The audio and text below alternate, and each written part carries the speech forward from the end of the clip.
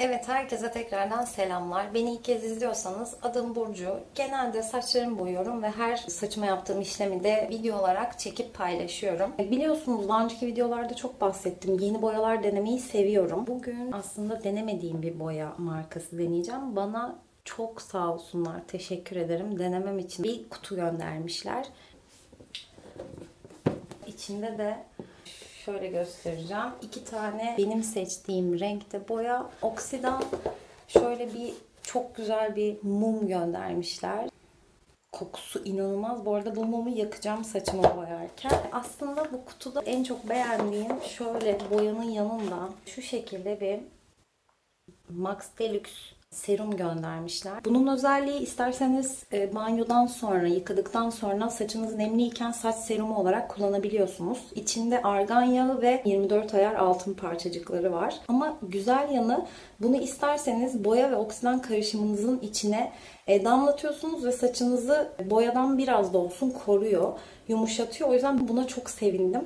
Şimdi deneme fırsatımız olacak. Saçımı bayağı uzun zamandır yani bir 4-5 gündür yıkamadım. Çünkü olabildiğince kirli ve yağlı olmasını istedim. Genelde de boyamadan önce zaten e, yağlı bırakıyoruz, kirli bırakıyoruz ki dipleri biraz daha aslında yanmasın diye, acımasın diye yani. Bir de bu süreçte şu aradaki açıcı yapmadan boyadığım kısmın boyası aksın diye bol bol şampuanladım aslında. Genelde şurada da bayağı bir turuncu saçım. Çünkü şu an deneyeceğim boyanın tam olarak rengini görmek istiyorum. Ya da bu şekilde turuncuda nasıl bir sonuç çıkacak onu görmek istediğim için aslında e, bir önceki rengi akıtmaya çalıştım. Ve şu an çok kötü bir rengi var saçımın. Çok da pis. O yüzden hemen boyaya geçelim.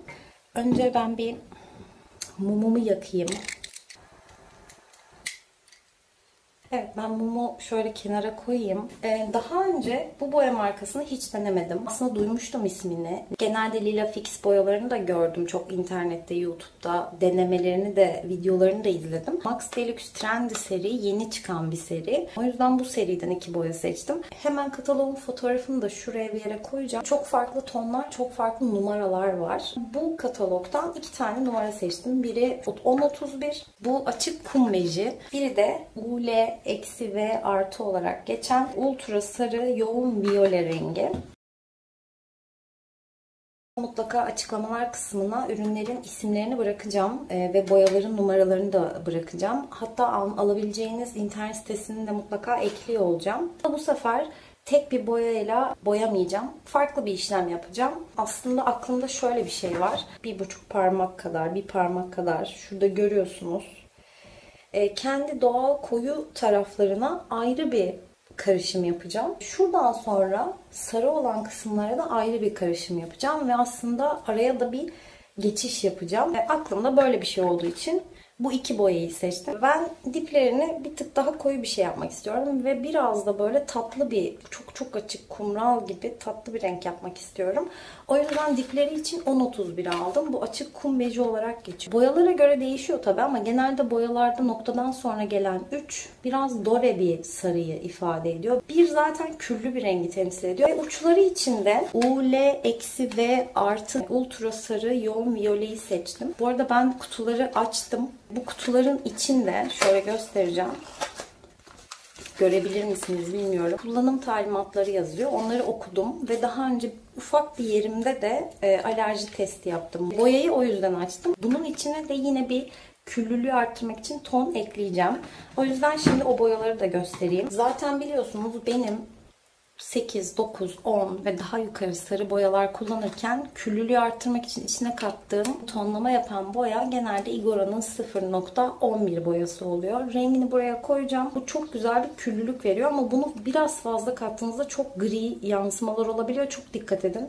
Ve yine şöyle Matrix Soul Color'ın en son boyama videomda yine bu markanın hem açıcı hem tonlayıcı bir boyasını kullanmıştım. Bugün de Clear olarak geçen şöyle göstereceğim ama ekranda netlemezse de buraya fotoğrafını koyacağım. Hem renginin hem de isminin. Bu clear yani renksiz. Bu bir boya değil aslında. Bunu genelde boyanın içine kattığınızda boyanın saça daha temiz işlemesini ve daha uzun süre kalıcı bir şekilde işlemesini sağlıyor ve daha önce uyguladığınız boyalardan kalan kalıntıları da temizliyor. Şu şekilde daha önce boyadığınız ya da açıcılı bir sarının üstüne uyguladığınızda da beyaza yakın, platine yakın ton veriyor ama bu tek başına kullanılmıyor dediğim gibi. Bu genelde boyaların içine katılıyor. Aynı zamanda bunu ben beyazlarımı kapatmak için de kullanıyorum. Şurada çok yoğunlukta beyazlarım var ve beyaz kapamak çok zordur boyayla bilirsiniz. Yani sarı ile bile beyazlarınızı kapatamayabilirsiniz. O yüzden ben bunu onda bir oranında boyanın içine karıştırıyorum ve beyazlarımı da kapatabiliyor. Yani bu aslında çok amaçlı kullandığım bir boya benim. Şimdi ben ne yapacağım? Hemen onu anlatayım. Dipleri için şöyle bir karışım yapacağım. 10-31 açık kum beji ile Igora'nın sarı azaltıcı olarak geçen 0-11 küllülük veren e, tonunu karıştıracağım.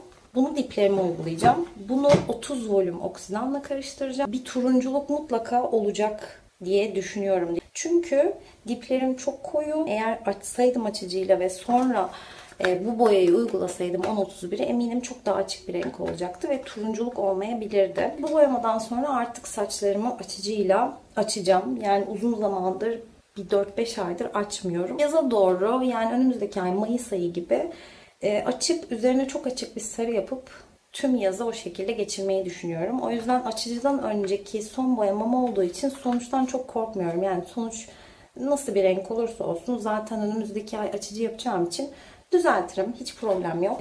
Uçlarına da UL eksi ve artı olan boyayı yani ultra sarı yoğun viyole ile bu clear tonunu karıştırıp uçlarına o şekilde uygulayacağım. Bunu da 20 volüm oksidanla karıştıracağım. Çünkü uçlarım zaten açık. 30 volümlük oksidan e, daha çok yıpratıp kurutur saçımın uçlarını. Bir de bu clear boya sadece 20 volüm oksidanlar için uygun yazıyor kullanım talimatlarında. O yüzden o talimatlara uyacağım. Bunların hepsini bu arada hangi oranlarla karıştırdığımı da e, karışım yaparken şimdi göstereceğim. 10-31 kum bejine açıyorum.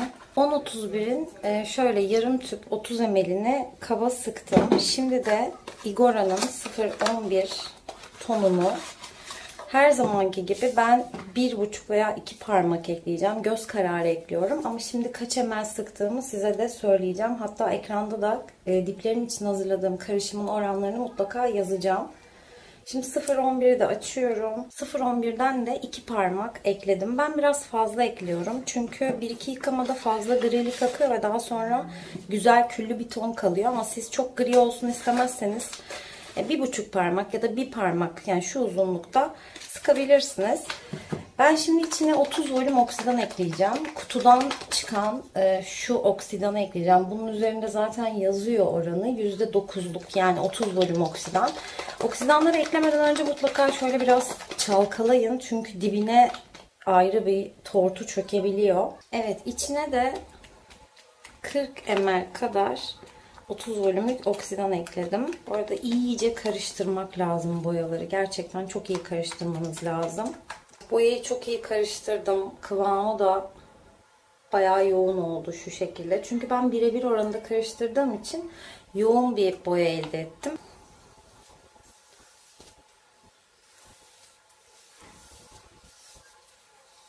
Bu boyayı diplerimle iki parmak e, uygulayarak dip boyası olarak boyuyorum.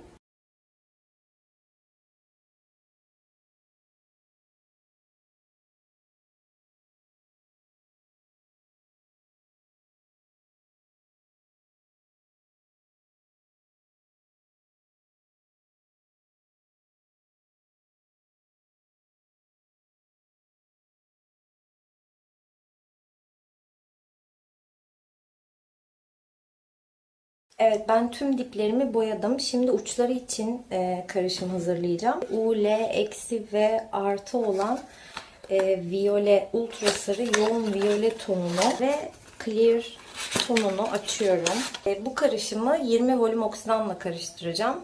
Hemen buraya hangi oranlarda karıştırdığımı yazacağım. Ben son anda içine çok az da Igora Schwarzkopf'un 12-1 olarak geçen özel açıcı sandresinden bir parmak kadar da kattım. E, bu boya da benim zaten çok sık kullandığım bir boya. Zaten şöyle göstereyim. Mavi bir rengi var. Bunu açıkçası birazcık küllülük vermesi için kattım. Çünkü viyole çok baskın olur ve mor ya da pembe gibi bir renk olur mu diye korktum. O yüzden çok az da mavi katmak istedim. Ama bunu katmak zorunda değilsiniz.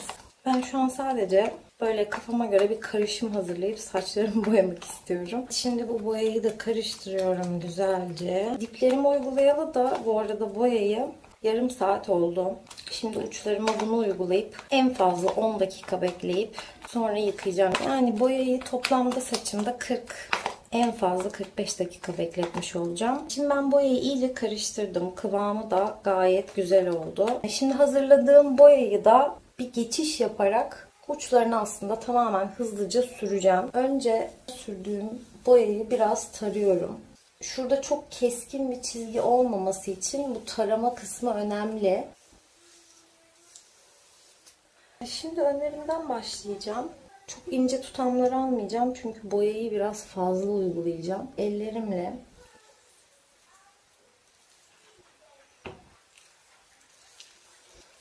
masaj yaparak uygulayacağım. Biraz da şuraya şöyle iki boyayı karıştırmak için şöyle yukarı doğru uygulayacağım. Her yerine bu şekilde büyük dilimlere ayırıp hızlı hızlı uygulayacağım. Çünkü maksimum 10 dakikam, 15 dakikam var.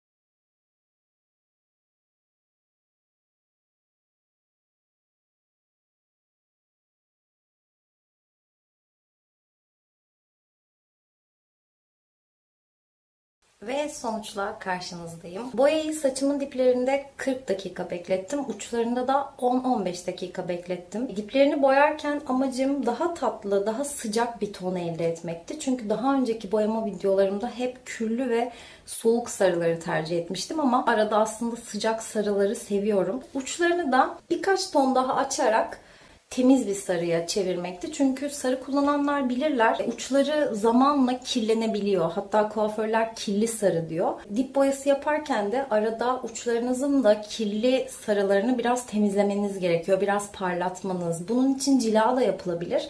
Ama ben genelde ton boyalarını tercih ediyorum ve Clear da gerçekten sarıları temizlemek konusunda bence yeryüzündeki en başarılı e, boya diyebilirim. İçine kattığım viyole de daha önceki boyamalarımdaki gri yansımaları temizleyip aslında sıcak bir sarıya çevirdi. Ben sonucu gün ışığında çekmeyi düşünüyordum ama ben ne zaman saçımı boyasam ve gün ışığında çekmek istesem hava kapalı oluyor. Ama gün ışığındaki sonuç da şu an gördüğünüzden çok farklı gözükmüyor. Şöyle ben saçlarımı yakından göstereceğim ama daha önceki videoda bahsetmiştim. Benim şu kahkül tarafım hep daha zor açılır ve hep orası koyu kalır. O yüzden biraz aralarını göstereceğim.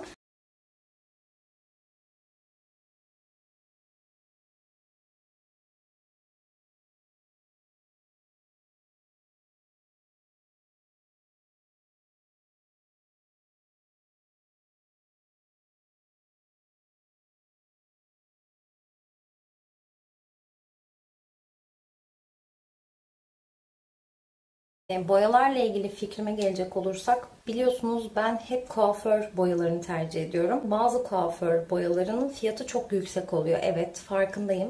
Ama kutu boyalarda yani marketten aldığınız kutu boyaların da fiyatları şu an zaten çok yükselmiş durumda. Benim seçtiğim Max Deluxe Trendy serisi de kuaförlerin kullanımına uygun yani profesyonel bir boya markası. Fiyatları diğer çok bilinen e, boya markalarından biraz daha uygun.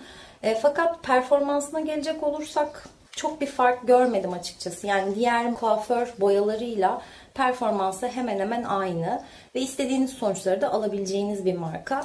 Saçımın diplerinde herhangi bir yanma, batma, tahriş yapmadı. Bu benim için önemli çünkü bazı kutu boyalar benim saçımın diplerinde kepeğe veya tahrişe yol açabiliyor. O yüzden e, bu anlamda da bu boyada öyle bir sıkıntı yaşamadım. O yüzden evde saçınızı boyamak istiyorsanız uygun fiyatlı bir kuaför boyası olarak tercih edebilirsiniz. Evet şimdi birkaç hafta sonra saçımın diplerini aslında evde açmayı düşünüyorum. Ve biliyorum ki saçını evde açmak isteyen ama buna cesaret edemeyen çok fazla insan var. Evet evde saç açmak çok riskli ve çok e, aslında meşakkatli yani yorucu bir iş. Ama isterseniz çok cesaret edemeyeceğiniz bir şey değil. Sadece bazı dikkat etmeniz gereken püf noktaları ve bazı dikkat etmeniz gereken konular var. O nedenle bir sonraki videomda saçımı açacağım ve evde saç açma ile ilgili bütün püf noktaları, bildiğim bütün yöntemleri aslında anlatıyor olacağım. O yüzden bir sonraki videodan haberdar olabilmek için kanalıma abone olmayı ve beni izlemekten keyif aldıysanız, beğendiyseniz videoyu beğen tuşuna basmayı, Instagram'dan da beni takip etmeyi unutmayın. Bir sonraki videoda tekrar görüşmek üzere, hoşçakalın.